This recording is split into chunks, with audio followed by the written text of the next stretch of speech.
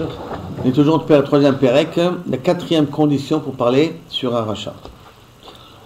Bemahut ou bematarat tnaï.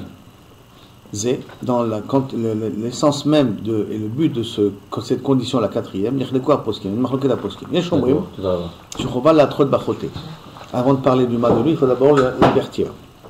Kedel vadé, faut vérifier shomnam hu ose et achet bemezid. Pour être sûr que les fautes qu'il a fait, il les a fait exprès.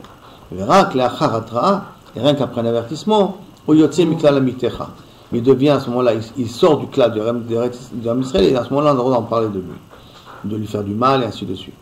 Il y a Chomrim, il y en a qui disent, c'est de gam et Il ne faut pas uniquement les atrot, faire un avertissement, mais aussi les lui faire des remontrances.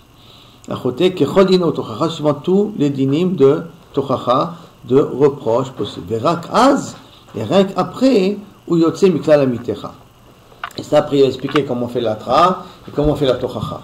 Mais déjà, la première chose qu'on doit savoir, c'est que, avant de considérer avoir le droit de parler mal sur un rachat, ou de crier sur un rachat, ou de faire honte à un rachat. On a vu déjà trois conditions précédentes. Il faut être sûr qu'il a bémet. Toi, tu as vu qu'il a fait la faute. Il faut qu'il soit sûr que c'est une faute Gemura et qu'il a fait be, be kavanatrila, et qu'on ne peut pas lui trouver un kapsrout. La quatrième condition, il faut qu'avant que tu puisses parler de lui, ou que tu lui fasses une atra'a, un avertissement sur son comportement qui va l'amener à ce qu'on va parler de lui, ou que, d'après la deuxième explication, tu dois lui faire un reproche, mais un reproche dans le sens de lui parler pour lui demander de ne plus faire la faute.